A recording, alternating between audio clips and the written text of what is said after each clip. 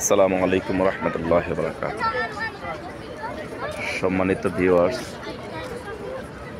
পবিত্র মদিনা শরীফের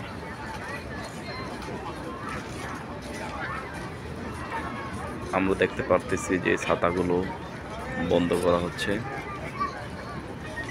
কত সুন্দর করে এগুলো বন্ধ করার সিস্টেম করা আছে।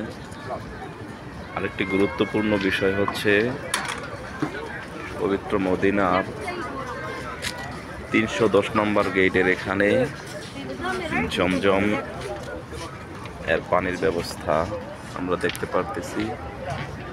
এই হচ্ছে জমজম পানির এখান থেকে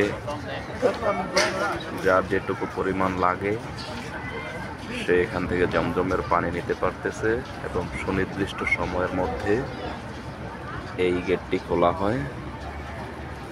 এবং সুনির্দিষ্ট সময়ের মধ্যে যদি নিতে পারে, তাহলে জমজমের পানি নেওয়া যায়।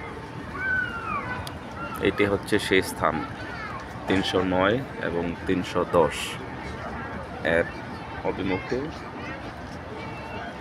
পবিত্র হারাম শরীফের, মদিনার হারাম শরীফের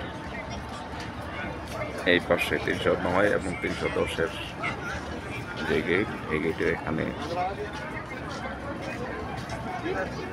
ঝমঝমের পানির ব্যবস্থা করা আছে। আলহামদুলিল্লাহ। যদি কেউ মক্কা শরীফ এবং মদিনা, বিশেষ করে মদিনা শরীফে যদি কেউ আসতে পারে, আসেন, তাহলে এই গেটটার সামনে, এই গেটের কাছেই এই পানির লাইনের ব্যবস্থা করে রাখা আছে। আপনাদের সবাইকে আমন্ত্রিত। আসসালামু আলাইকুম।